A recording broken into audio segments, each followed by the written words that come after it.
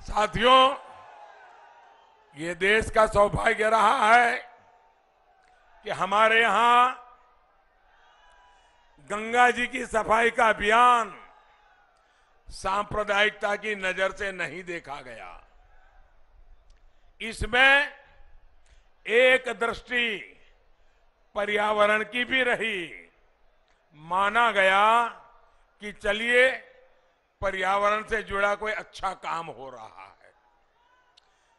सांप्रदायिकता का रंग नहीं रंगा उसे। वैसे ही अयोध्या में हो रहे राम मंदिर के निर्माण को लेकर, काशी में हो रहे कार्यों को लेकर, प्रयागराज में हो रहे कामों को लेकर, एक दूसरा पक्ष भी मैं आज देश के सामने रखना चाहता हूँ। और ये उन लोगों के लिए जानना ज़रूरी है जो अयोध्या, काशी, मथुरा, प्रयागराज, केदारनाथ, बद्रीनाथ, यहाँ हो रहे सब कामों को सांप्रदायिक नज़र से देखते हैं। साथियों, अगर मैं कोरोना से पहले की बात करूँ तो दो साल पहले 2019 में, मुस्लिमों के पवित्र स्थान मक्का में दो करोड़ से ज़्यादा लोग हज करने लिए, उमरा करने के लिए गए थे। इसी तरह ईसाइयों के पवित्र स्थान वेटिकन सिटी में दो साल पहले 2019 में, करीब करीब एक करोड़ लोग वहाँ के चर्च और म्यूज़ियम को और पोप के दर्शन करने के लिए गए थे। इन देशों ने वहाँ पर आने वाले भक्तों के लिए बेहतरीन सुविधाएँ तैयार की है, आधुनिक व्यवस्थाएँ बनाई है। लोगों को वहाँ पर रहने की दिक्कत ना हो कनेक्टिविटी की परेशानी ना हो, हर तरफ़ साफ़ सफ़ाई हो, इसका बहुत ध्यान रखा जाता है। लेकिन भारत में अगर हम उसी दिशा में कुछ काम करें, लोगों की सुविधा की चिंता करें, नागरिकों की भलाई के लिए काम करें तो इनको वो सांप्रदायिक चश्मों से ही देखने की कोशिश करते हैं। आप खुद देख रहे हैं, काशी विश्वनाथ धाम परियोजना के बाद वहाँ आने वाले भक्तों की संख्या इतनी बढ़ गई है, इतनी बढ़ गई है कि वहाँ गरीब से गरीब को अब रोजी रोटी के नए अवसर मिल गए हैं। जो आने वाले लोग हैं, उनमें आस्था भी है और ये नया परिवर्तन आया, उसका कौतूहल भी है।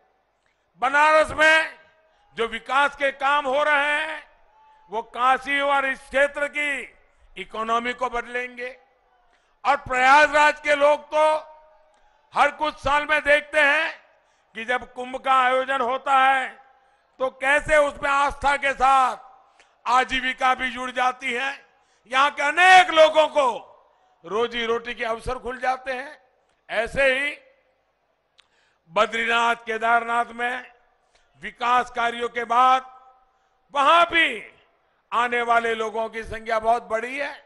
मुझे भी वहाँ के मुख्यमंत्री बता रहे थे कि कोरोना के पहले केदारनाथ में अब तक जितने लोग आए होंगे प्रति वर्ष उससे ज़्यादा डबल डबल संख्या में लोग आना शुरू हुए।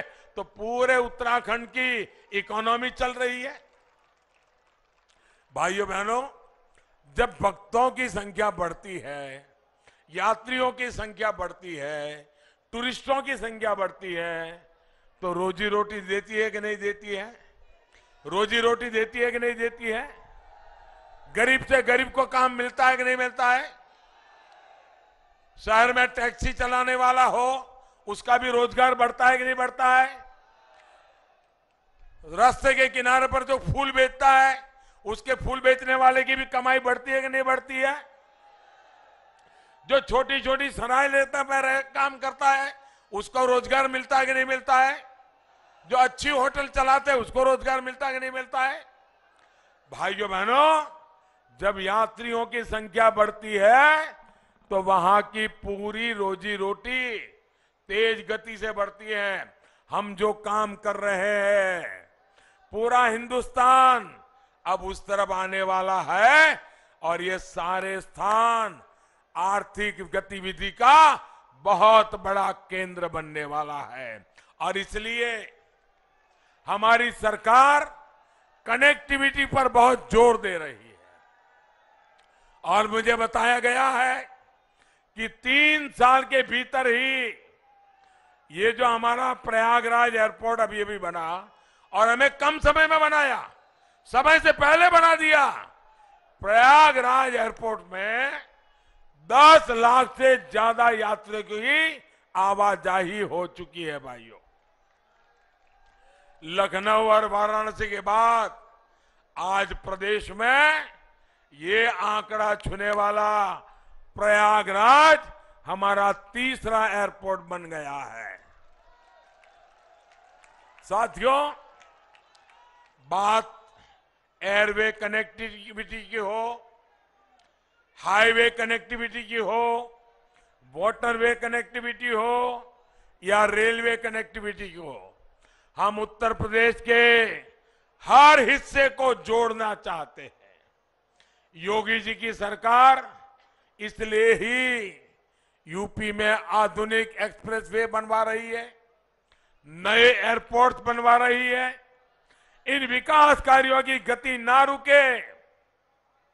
इसके लिए डबल इंजन की सरकार बननी ज़रूरी है।